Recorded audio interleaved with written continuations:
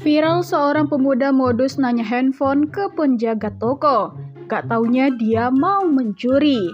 Baru-baru ini viral video seorang pemuda yang nekat mencuri handphone di depan penjaga toko yang berlokasi di Sukaraja, Sukabumi.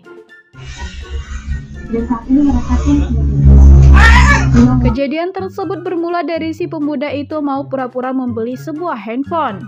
Dan dia juga pura-pura mau fotoin handphone itu dulu sebelum dia beli. Alasannya untuk ditunjukin ke istrinya. Kemudian dia sengaja nanya-nanya handphone lain ke penjaga toko tersebut. Hingga si penjaga terlihat lengah. Dan benar saja, ketika si penjaga toko itu lengah, si pemuda tersebut pun langsung lari sambil membawa handphone yang awalnya pura-pura mau dia beli tadi.